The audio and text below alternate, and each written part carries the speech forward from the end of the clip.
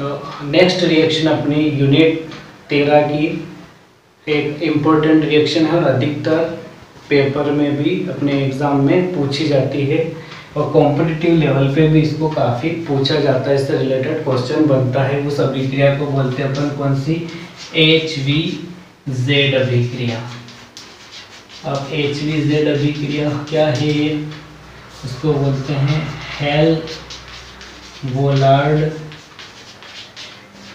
जैलेंस अभिक्रिया, ये इसका पूरा नाम। ठीक? हेल बोलार्ड जैलेंस की अभिक्रिया। तो इसमें क्या यूज़ करते हैं अपन? तो कार्बोक्सिलिक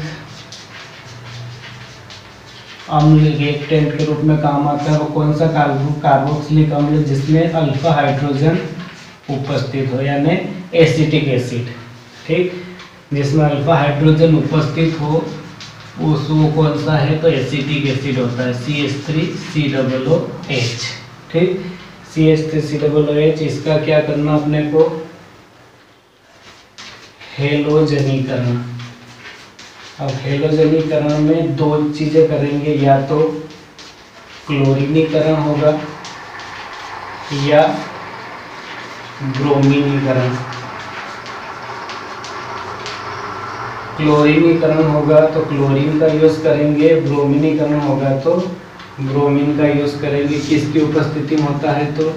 लाल फास्फोरस की उपस्थिति में होता है। क्या मिलता है तो? अल्फ़ा हेलो अम्ल प्राप्त होते हैं। ठीक? अब ये अल्फ़ा हेलो अम्ल क्या होते हैं? तो अपन अल्फ़ा कार्बन बताया था मैंने अल्फ़ा कार्बन क्या होता है? है ना? तो वैसे ही उस अल्फ़ा कार्बन पर जो हाइड्रोजन है, उसका रिप्लेस करेंगे अपन, उसको प्रतिस्थापित करेंगे किससे? या तो क्लोरीन से या ब्रोमीन से। देखते हैं, जैसे ये है C H three C double O H ठीक? एसिटिक एसिड इसका क्लोरीन के साथ क्रिया कराएँगे। किसकी उपस्थिति में? लाल फास्फोरस की उपस्थिति में।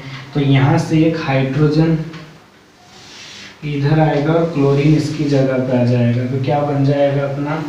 C H two C L ठीक? सी डबल ओ एच और क्या बाहर हुआ? तो एक एच और एक सी एल गया तो एच सी एल बाहर, ठीक? फिर इसका वापस अपन क्लोरीन के साथ रिएक्शन करते हैं लाल फास्फोरस की उपस्थिति में। तो सेम वही। एक हाइड्रोजन इधर गया और क्लोरीन इसकी जगह पे आ जाएगा। क्या बनेगा?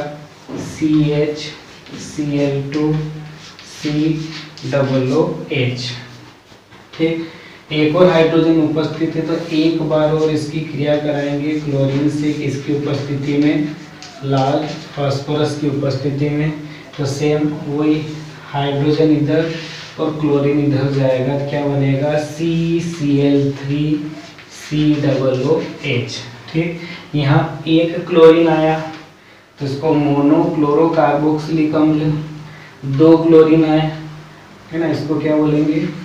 Mono chloro